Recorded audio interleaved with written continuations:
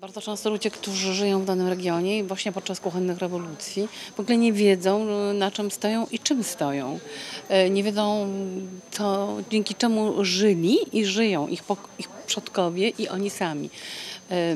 Bardzo często w tych miejscach są produkty, których my szukamy natrętnie w Warszawie, nie dostajemy ich nigdy, a oni mają ich pod ręką i potrafią ich używać. I nie, nie wiedzą, że, że my je chcemy, tak? że my ich pragniemy. I to jest jakaś niesamowita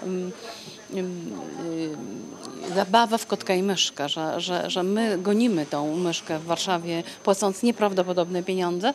e, Często jej nie dostając, oni mają ją e, tak, nie, w ogóle nie zauważając jej i przechodząc do dań kosmopolitycznych, które w sumie naprawdę nikogo już nie interesują, bo wszędzie są takie same.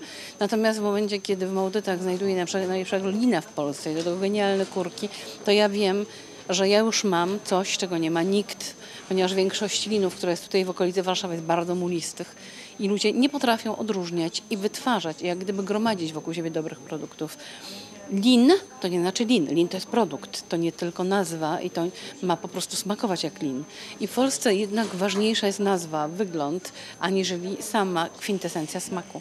Powinny być dania z określeniem ich regionów, skąd pochodzą, wychodzą karpie y, w różnych y, sklepach i nigdy nie wiadomo skąd one są. A najważniejszą informacją dla nas, tak jak we Francji, powinna być lokalizacja produktu. Produkt, produkt, jeszcze raz produkt.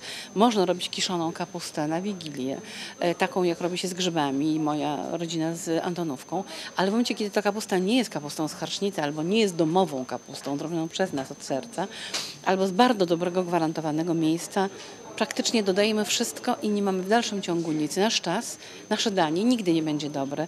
Mm, To jest trochę tak, jak ładować pieniądze w zepsuty samochód, y, który i tak, czy bardzo stary, który i tak nigdy nie będzie nowym, albo smacznym, ale fajnym samochodem, żeby nie wiem ile się dla niego zrobiło, bo koszt przekracza jak gdyby cały sens sytuacji. To bardzo proste wytłumaczenie, ale nie można bazować i pracować nad produktem, który jest żaden. Strata naszego czasu, pieniędzy i zdrowia.